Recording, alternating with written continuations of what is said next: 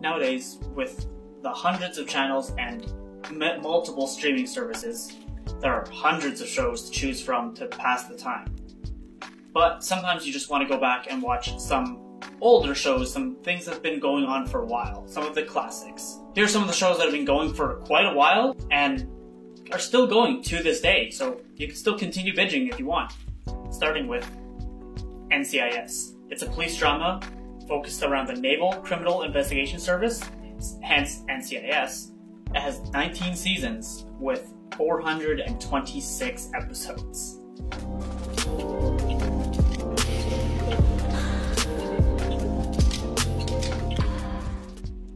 Next, we have the medical drama Grey's Anatomy. It starts off as a show about some medical interns getting out of med school and competing and learning how the job actually is in real life, to the main cast being the lead doctors of the hospital. And every season, it seems like, or every few seasons, there's sent to be new interns that have to be the ones getting taught. Grey's Anatomy is currently on its 18th season, now with a total of 391 episodes, so not as much as the last, but still pretty good.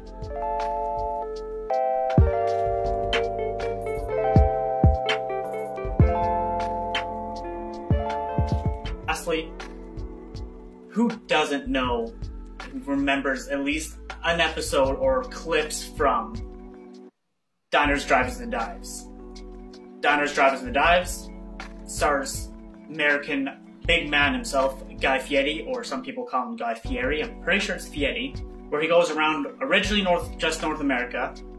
Sometimes he visits places in Canada, and even for I think a season and a half, maybe he went through a couple places in Europe and just looked at local restaurants. So nothing that's like a chain restaurant like a McDonald's or something like that, but local places places of people trying to grow their business and trying to make good food for the local community. Diners, Drives, and Dives, or Triple D as most people know it as nowadays, is now on its 42nd season with a total of, get this, 621 episodes. Yeah.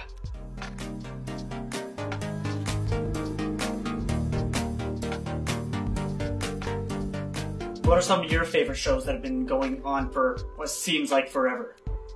Let me know in the comments.